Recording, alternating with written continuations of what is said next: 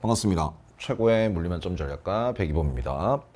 자, 4월 학력 평가 물리학 2. 물리학 2로서는 이제 전국 단위 모의고사의 첫 시험이었죠.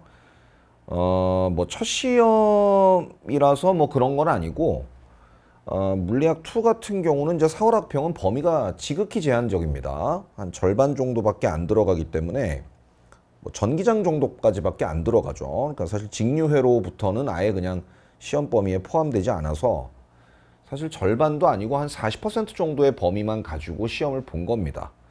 그래서 두 가지의 이제 뭐 문제점은 아니고 특징이 있죠. 어, 시간 안배가 굉장히 어려울 거다. 왜냐하면 역학 문제가 많이 나오기 때문에 널널한 지식형 문제가 나오질 않죠.